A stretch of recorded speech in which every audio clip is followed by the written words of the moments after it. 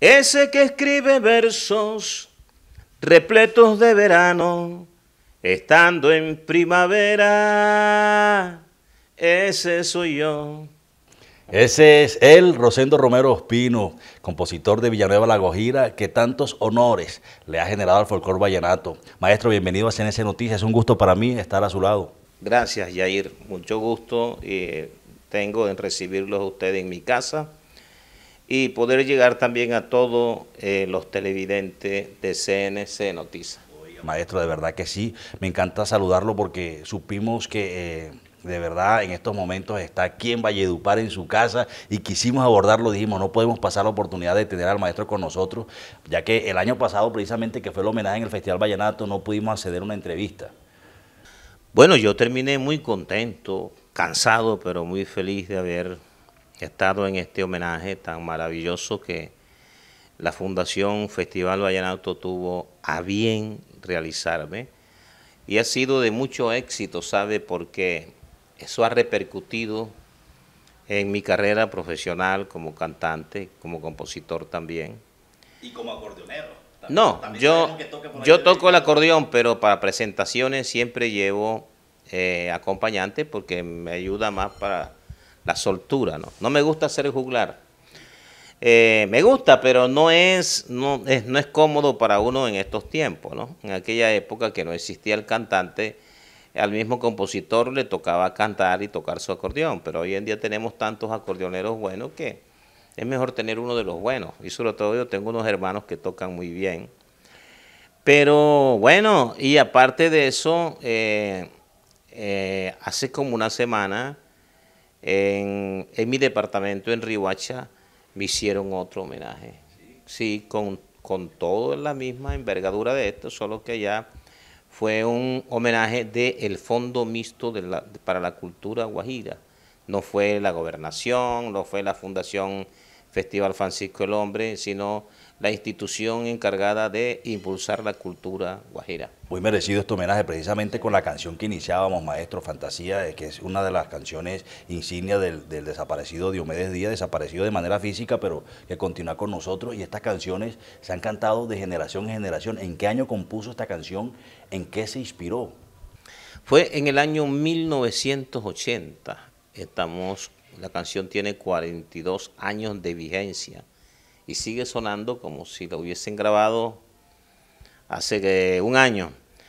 Esa canción se la hice a una persona en especial, que es mujer casada ya, ya no puedo pronunciar su nombre, y hace un tiempo empecé a como que a ocultar esas, esas anécdotas con nombre propio, para evitar, porque ya los hijos son grandes, están casados algunos, ya ellas prácticamente son, algunas son abuelas. Eh, aparte de eso, ya los esposos no soportan mucho este cuento, ¿no? Eh, tuve un incidente con alguien que me puse a contar y ella estaba ahí con, con su esposo y al hombre no le gustó el asunto. Entonces yo dije, esto tengo que evitarlo porque las canciones mías no fueron hechas para generar conflictos, sino todo lo contrario, para unir corazones y eso es lo que han hecho a través de los años. Entonces yo con mis anécdotas no puedo eh, quitarle el derecho que tienen mis canciones, están en el corazón de todo el mundo. Y si alguna vez me toca contar cosas, lo hago con nombres ficticios.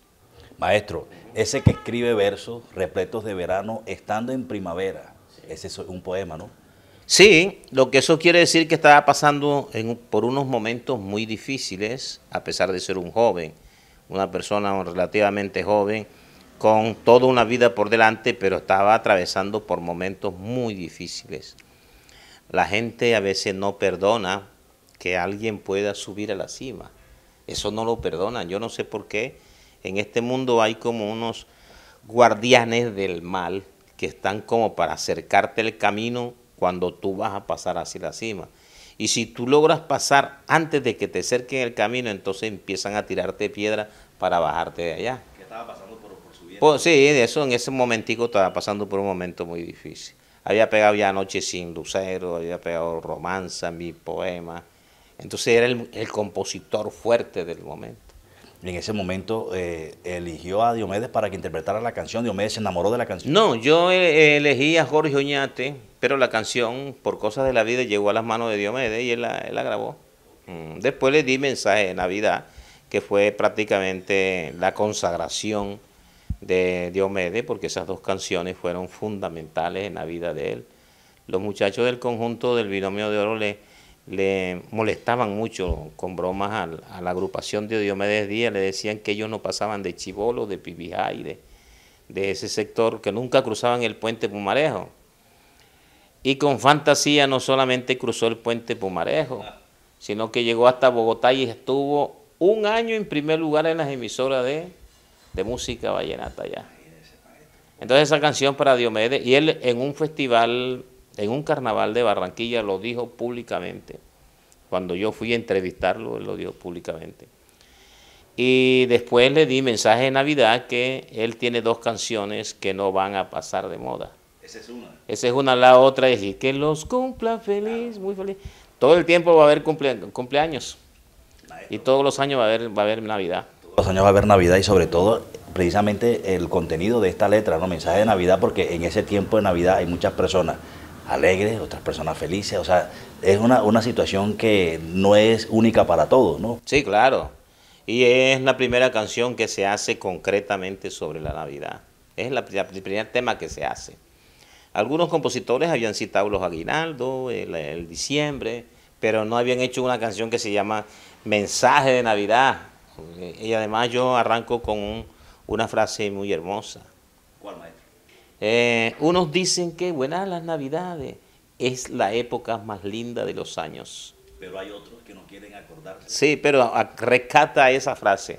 Es la época más linda de los años. Ahí es donde yo decía que, o sea, son situaciones diferentes. Para uno es más lindo, pero Claro, claro, pues hay, en la canción está dicha. Hay corazones que les da tristeza, que les da tri- tristeza al llegar diciembre.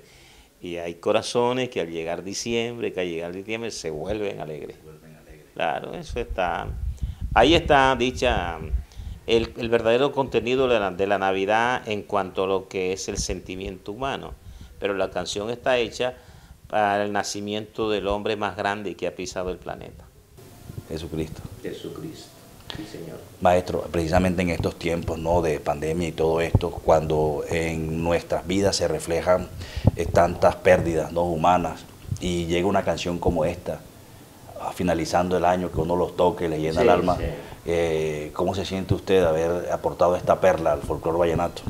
Yo pienso que cuando me hicieron el homenaje estaba bien justificado, Eh, porque no solamente aporté ese canto de Navidad que generó otras canciones más de Navidad compuestas por otros compositores, sino que compuse Noche sin Lucero, que es una canción que parte en dos la música vallenata, Eh, la composición vallenata más que todo.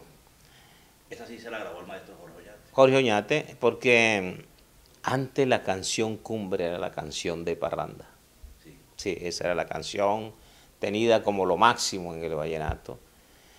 Eh, la última canción de Parranda fue La Parranda y la Mujer, que la compuso el maestro Poncho Cotes Jr., hizo esa canción.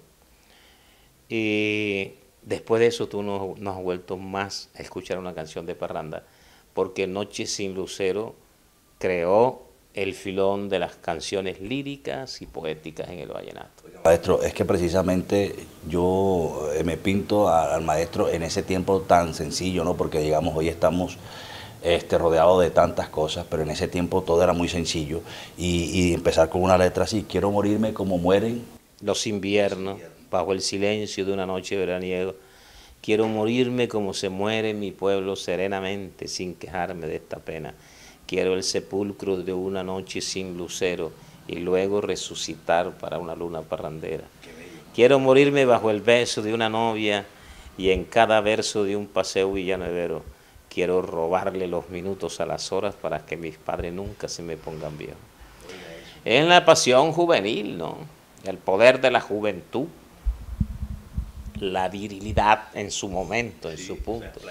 Claro, no, no, no corre igual un, ca- un, un caballo que ya tiene que ya tiene 10 años de existencia, que un potro que ni siquiera lo han amansado.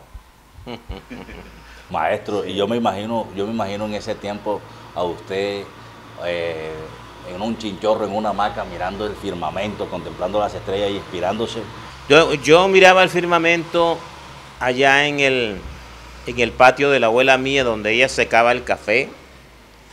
Ahí yo me acostaba y empezaba a mirar las estrellas y pensaba en, en cómo, cómo sería mi vida en el futuro, ¿no? Era un pelado, yo pensaba en mi vida en el futuro y miraba el manto de estrella hermoso que se veía, porque en esa época no habían luces de neón, sino unos bombillitos que colgaban sobre los, postes de, de madera. Y las noches eran más oscuras, entonces uno podía apreciar mejor las estrellas. Yo me acostaba boca arriba a mirar todo eso y a pensar cómo sería mi vida o cómo sería cuando esté viejo, a pensar en mi vejez. Siendo un niño, yo pensaba en eso. Y yo pensé en muchas cosas siendo un niño. Siendo hecho un pelado tenía ya una visión clara de, la, de las cosas. Maestro, precisamente hablando de eso, de lo que usted se visualizaba en ese tiempo y ya estando en esta edad, ¿cómo se siente usted? Bueno, yo pienso que he perdido el tiempo en muchas cosas que debía haberlas aprovechado mejor. Yo debía haber pasado por, haber terminado mi profesión como sociólogo. Eh, ahora estoy estudiando en la Universidad del Magdalena de manera virtual, estoy estudiando historia. Sí, quiero ser historiador, pero reconocido por la universidad. Entonces, este, estoy estudiando eso, quiero tener de todas maneras un cartón universitario. No quiero quedarme con esa frustración. Eh, pero pienso que si Dios me mandó para ser compositor, yo lo he hecho bien. Yo le cumplí a Dios. Sí, y a, mi sociedad, a mi pueblo, a mi región, a todo el Valle del Cacique para todo el Valle les he cumplido. Porque yo entregué a, a mi, mi región no solamente poesías, melodías, sino amor, ¿sabe? En mis canciones no hay insulto para las mujeres. En mis canciones no hay desprecio por la vida. En mis canciones no hay desconocimiento del gran Dios. En mis canciones lo que hay es un paisaje hermoso de lo que es el Valle del Cacique Upar y el sentimiento del hombre vallenato. Precisamente viene ahí la parte en la que eh, Silvio Brito le interpreta una canción que es un poema, ¿no? Mm, mi, poema. Mm, mi, poema. Precisamente eh, las estrofas suyas tienen como esa entonación poética. Sí, claro. Es que casi todas las canciones mías. Yo eh, soy el compositor que destaca la anáfora en el vallenato le he aplicado en varias canciones. La anáfora, que es una figura sencilla, fácil de, aplicar. Em, he utilizado la metáfora también, el símil y un poco la hipérbole. La hipérbole, eh, ¿cómo te diría? Un poco cernida, coladita, no, no tan, tan contundente, pero sí me, me gusta la hipérbole. Por ejemplo, esa imagen que dice, o esa frase que dice, quiero partirle el corazón a mi guayabo al filo de una pena que me duele aquí en el alma. ¿Entiendes? O esa que dice, si tu mirada tiene el filo de una espada, mi corazón es un ejército al querer. Entonces, manejo la, la hipérbole con cierta influencia de la metáfora para hacerlo más suavecito. ¿Cómo dice un pedacito de mi poema, maestro? Si nunca me hubiera pasado lo que me pasó, es seguro que mi mundo fuera diferente. Y cuando pienso que no soy lo que he querido yo, analizo que he perdido más tiempo en quererte. Algo en mí se está muriendo sin sentir dolor. ¿Ya? sin sentir dolor. O sea, es como cuando tú empiezas a olvidar. El dolor.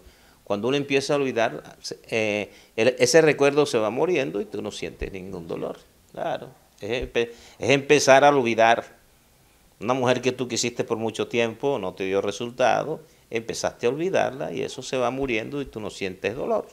Cuando vienes a ver ya... Ya estás sano, curado. ya está libre de eso. Maestro, eh, sabemos también que próximamente está eh, pronto a lanzar un trabajo musical. Háblenos un poco de eso. Sí, tengo un trabajo que, que, si Dios me lo permite, le voy a hacer lanzamiento antes del festival, si Dios me lo permite. Y este espero pues que sea de, agrado del todo el público. Es, es vallenato puro, puro vallenato, sí. ¿Solo composiciones suyas? Son, sí, 10 u 11 canciones mías. No van a ser más de eso. probablemente 11 canciones. Y espero pues que el público se las disfrute. Feliz Navidad.